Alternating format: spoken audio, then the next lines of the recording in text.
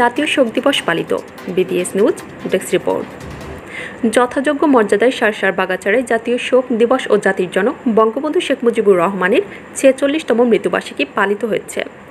দিবসটি উপলক্ষে রবিবার সকালে বাগাচারা বঙ্গবন্ধু মুরালে ফুল দিয়ে ও বাজারের শোভাযাত্রা শেষে এক আলোচনা সভা ও দোয়া মাহফিল অনুষ্ঠিত হয়।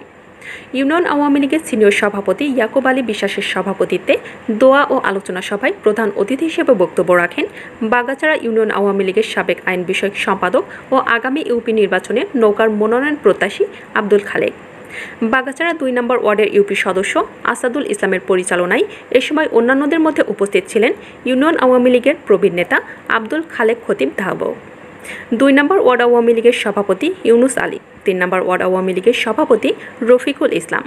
বাগাচাড়া ইউনিয়ন যুবলীগের সদস্য মেহেদি হাসান। এছাড়া বাগাচাড়া কলেজ ছাত্রলীগের সাবেক সাধারণ সম্পাদক শেখ রাসেল। ছাত্রলীগের যুগ্ম সাধারণ সম্পাদক গাজী মোস্তাফিজুর রহমান শুভ সহ আরও অনেকে।